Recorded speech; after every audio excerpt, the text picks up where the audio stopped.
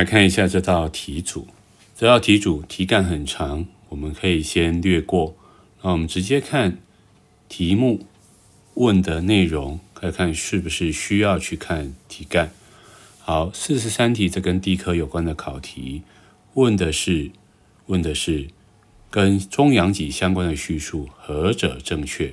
然后他所提到的是图上有一些标线，比如说粗线是板块边界，细线是海洋地壳的等年线，也就是海洋地壳年龄的等值线。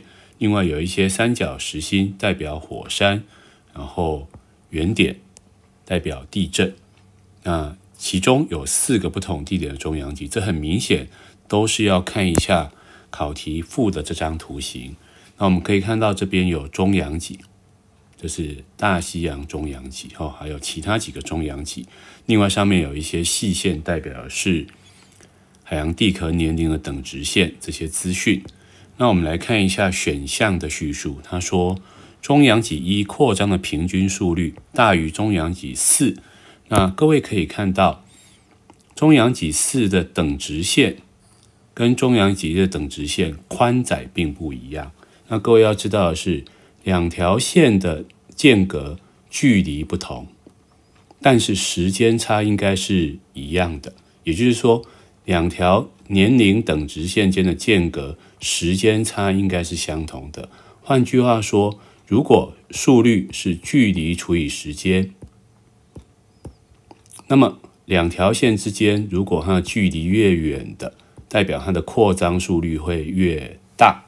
所以一的速率应该大于四的速率，越宽的越大哈。所以 A 选项是正确的。然后它第二个选项说，两侧的扩张是相同的速率。但很明显，我们看到题目当中，譬如像一号左侧这边跟右侧这边的间隔距离就不同，右侧比较大，左侧比较小。换句话说，并不是两侧都是等速率扩张的。再来，中阳脊发生的地震震源都比南美洲内陆来的深，这当然是错误的，因为南美洲内陆这边是聚合板块边界。从海沟，从秘鲁智利海沟往内陆的方向，隐没的板块越深，它的震源深度会越深。而中阳脊则是只有浅震，哦，所以这是错误的。第四个，海底火山接近热泉系统都发生在中阳脊的张裂带，然后我们可以看到，有些是位于中阳脊张裂带。但有些并非如此，可能是在板块内部。那最著名就是这个夏威夷哦，所以这个也就是说，它的叙述并非正确。好，那我们这题就可以判读正确答案只有 A 选项。在这道考题是阅读型考题，然后我们可以看到他问哪一个叙事是错误的。然后深海热泉容易发生在海底火山。临近区域，然后他有提到冷海水经过岩石缝隙渗入中阳脊附近的内地壳内，然后被岩浆加热以后产生所谓的深海热泉。哦，所以这个是正确的叙述。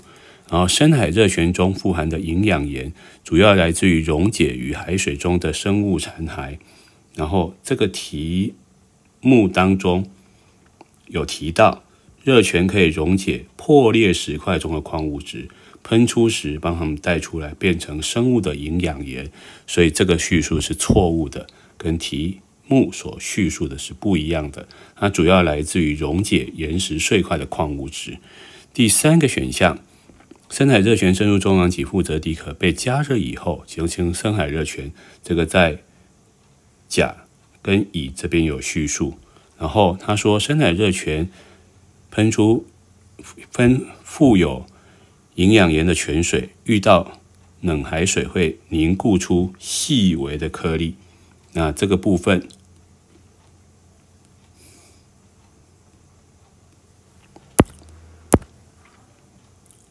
在题干当中有提到，哦，这边有提到